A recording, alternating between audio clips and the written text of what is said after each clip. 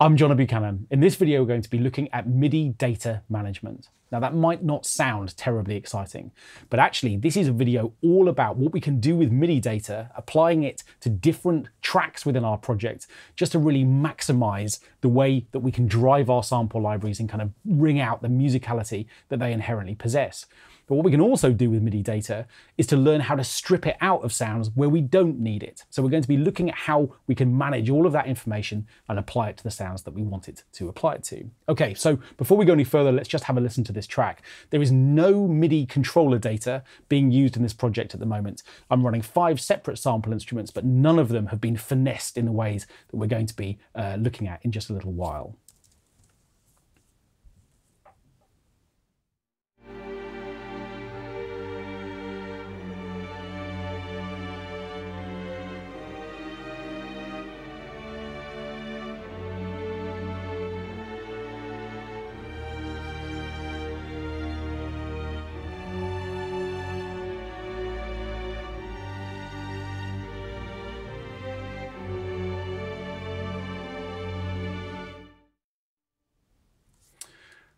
Okay, so all of these sample instruments are currently using uh, Spitfire Audio symphonic strings libraries. And like lots of Spitfire libraries, what these samples allow you to do is to add musicality by drawing lines of controller data or recording those with a controller such as this.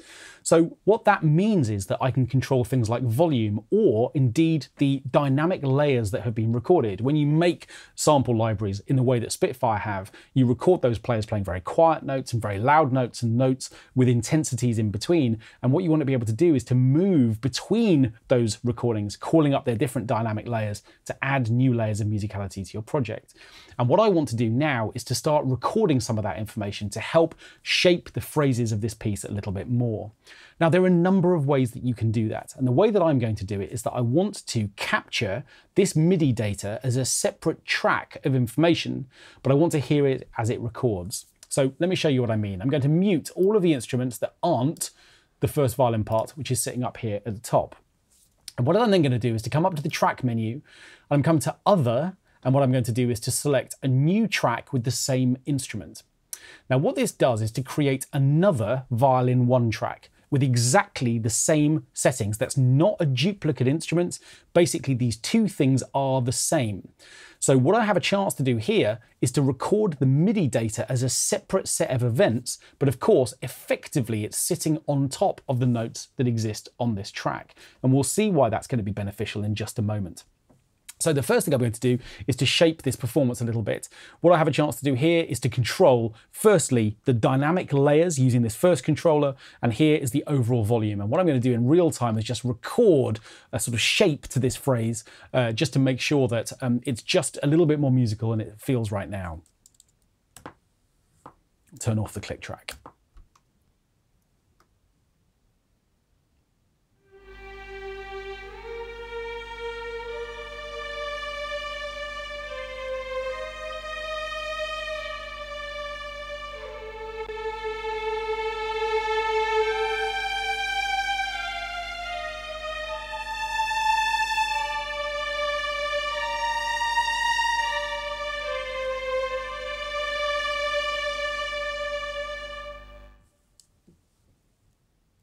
Okay, so what I've now got is a separate data stream. I've got the notes here, and I've got the MIDI information here.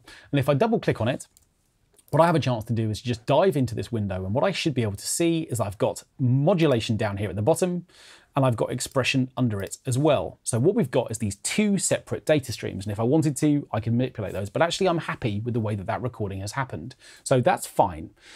What I then want to be in a, in a position to do is to use this data and apply it to the other sounds within my track. Now, of course, I could go through and record a discrete line of modulation and expression data for each separate instrument, and probably that would be the most musical thing to do. I want to be in a position where maybe the cellos are building and swelling in different places to the first violins. But what I'm actually going to do is to use this data stream as a sort of template to apply to the other sounds. So here's how I'm going to do it. I'm actually going to create a completely empty track down here at the bottom. I'm just double clicking to create an empty track. And what I'm then going to do is to copy just that data down to the bottom. So I've got two versions of it. Remember, there are no notes in this file. This is just the modulation and expression data. And what I can then do is I can select this first track and I'm going to glue it to the first violin part by pressing T for the toolbar, grabbing the glue tool and gluing that MIDI data onto that first track. So I've effectively merged those two things. Now the MIDI data is part of that first violin part. So why did I copy it first? Why was that important? Well, if I want to use this MIDI data and I want to glue it to the second violin part as well, it's important that that data exists as a track in its own right. If I try to copy the first violin part down to the second violin part, not only will I get the data, I'll get all of the first violin's notes as well. And I don't want that. I just want the MIDI data. So it's important that I always have one extra track of just the MIDI data before I copy it. So what I can then do is to duplicate this back up to here and this time I can glue it to the second violin part. And now they're going to be part of that same track. If they happen to glue upwards to the track above, no problem, I can just move it back down. I can of course use, if I want to, just the track next door here as well. I'm just effectively always looking to make sure that I've created another data line. This time I'm going to add this to the violas. And I'm going to do the, it one more time here with uh, the cellos. So again, I've always got one extra track. So by isolating the MIDI in this way, the huge, uh, the MIDI data in this way, what I've obviously got is the opportunity to treat these as two separate things. And it doesn't matter, of course, if I end up with one spare track of just the MIDI notes or the MIDI data stream down here at the bottom. That's fine it's just sitting there waiting for me to either just throw it away now that I've got that um, glued to those other instruments, or maybe to um, uh, be applied to another set of sounds a little bit further down the line. So what we've now done is we've glued this data to all of the instruments within the track. Let's see now how they benefit from that slightly more musical shape with uh, the uh, modulation and expression data that we recorded for that first violin part.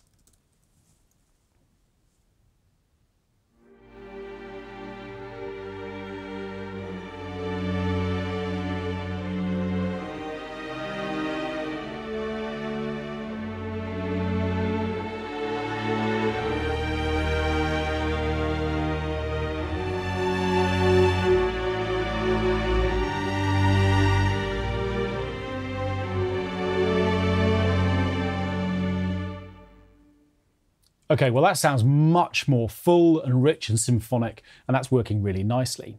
Okay, so what about the opposite? What if what we wanted to do was to actually strip out all of that MIDI data? Well, why would we ever want to do that? Well, let's suppose for a moment that what I wanted to do was to take these sounds or these musical parts and apply them to samples from maybe different string um, uh, sample libraries which don't use modulation and expression in the same way. Different sort of sample developers use different approaches to bring musicality to the sounds that they want to use. And it could be that actually maybe modulation and expression control different things in those libraries. So maybe what I want to do here is to say, okay, I want to use the notes, but I don't want all of the expression and modulation data. I want to be in a position where I can remove it. Okay, well, let's see how we could do that. Let's suppose, for example, what I want to do is to take all of the sounds that are being used here, and I want to double them all with another sample library, maybe something that's kind of playing a sort of string pad just to add even more symphonic richness to this part. Okay, so firstly what I need to do is to fold all of these separate parts down to become one data line. Okay, so what I'm going to do is to select all of them. I'm going to drag them over here, just to the right-hand side of the project for a moment, and then what I'm going to do is to glue them all together. Okay, so now what I've got is all of the notes playing on one track. That's fine. But what I've also done, of course, is to incorporate five separate layers of modulation and expression data from all of those separate parts. And I don't want any of that information. So how do I strip it out? How do I get rid of it? Well, I'm going to double click on this so that I'm actually looking at this MIDI data and I can see the line and I can see that all of this expression data here. And remember, there's five channels of that sitting there because I folded all of those parts together. Up here in the top right hand corner, what I can do is to click on the list editors. And what the list editors are going to do is to show me the range of lists that are available to me to sort of view within my project. And the first list editor is simply showing me all of the regions that exist. It's seeing the names of them and it's showing me where they exist. And this part here at the moment is labeled violin 1 and it's happening at bar 12, so I can see that that's where um, this information lies. But if I click outside of here and I click back on this region, what I get a chance to do is to see the data that's contained within this region, including all of the expression and all of the modulation data. And as you can see, this is a massive long list because it's five sets of all of that controller data. What I want to be able to do is to throw that away whilst keeping the actual MIDI notes themselves. Well, how can I do that? Well, very straightforwardly, as it turns out.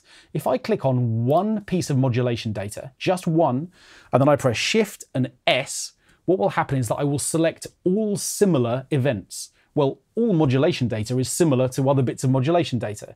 So by clicking on one modulation event, and then by pressing Shift and S, all of the modulation data is now highlighted, and I can press backspace to throw it away.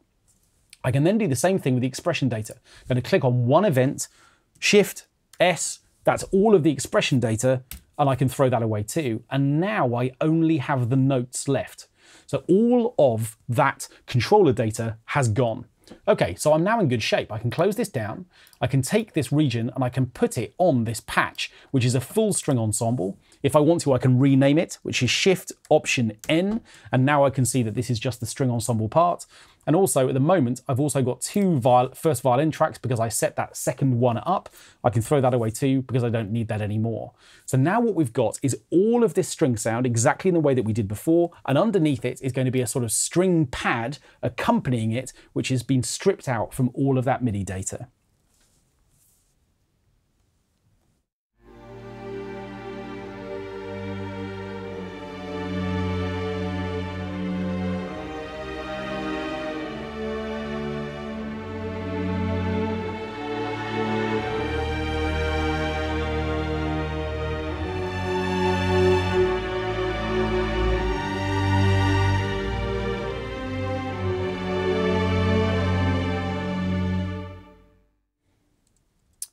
In this video, what we've done is we've learnt how to separate the notes and the controller information for separate streams of MIDI data.